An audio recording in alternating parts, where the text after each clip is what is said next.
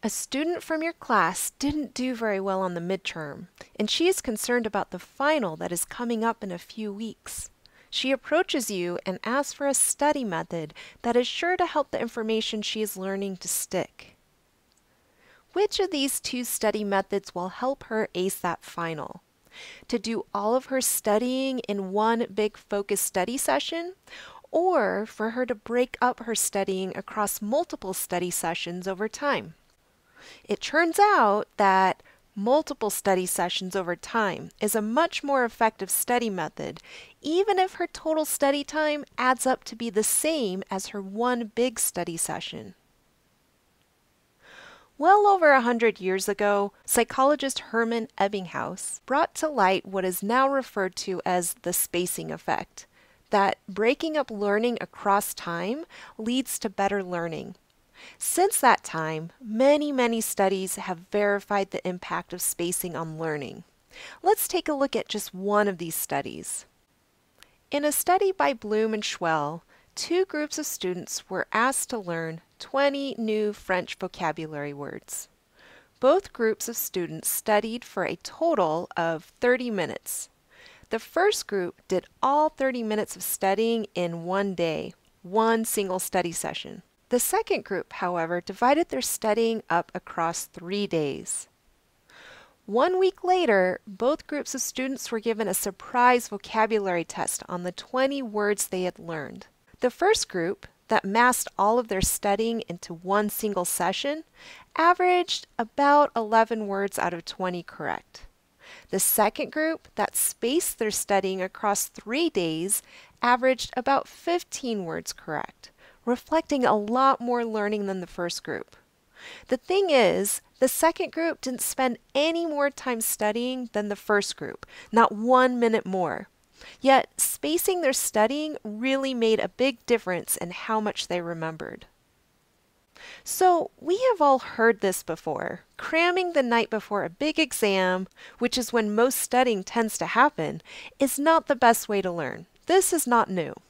But why is it that spacing out learning is more effective than cramming? There are actually a number of different reasons. Let's talk about three of them. Reason number one that spaced learning better helps students learn than cramming. It creates opportunities for retrieval practice. If you haven't yet learned about retrieval practice, be sure you do. It is another top method for boosting your students' memory for what they have learned. Retrieval practice is simply the act of trying to remember what has been learned. Students can't peek at their notes or the textbook when they do this.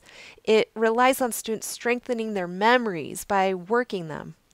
Anyway, spaced learning works because every time students return to their studying, they engage in retrieval practice because they recall what they learned in previous study sessions.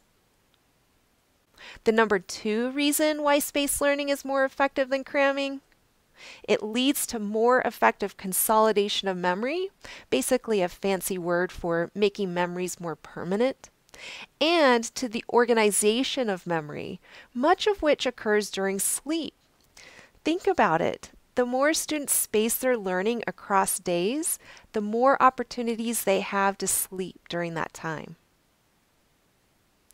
And the number three reason why spaced learning is more effective than cramming new learning always, always, always depends on prior learning.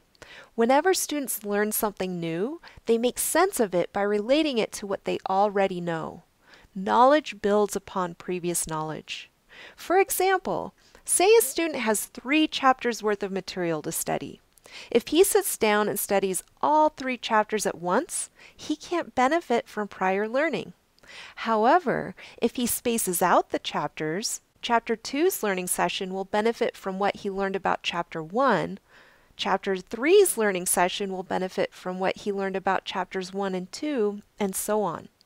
It's about building a solid foundation while learning takes place. It's kind of like laying down a brick wall. The structural soundness of the top layers is going to depend on how soundly laid the bottom layers are.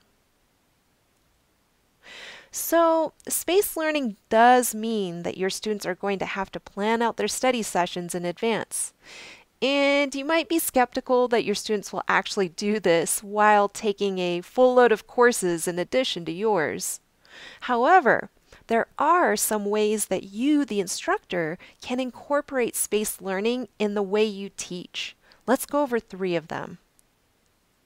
Number one, simply make it a point to return to topics multiple times throughout the semester, especially those big concepts that you want your students to walk away with. Each time you come back to a topic, students will see it in a new light, given everything new they have learned. Number two, when you can, opt for frequent, smaller assessments rather than one or two major exams for the semester. Because if you think about it, when do students tend to study? Right before an assessment, right? And number three, if you have large projects in your course, consider breaking them up into smaller parts to be completed and submitted at different times rather than all at once.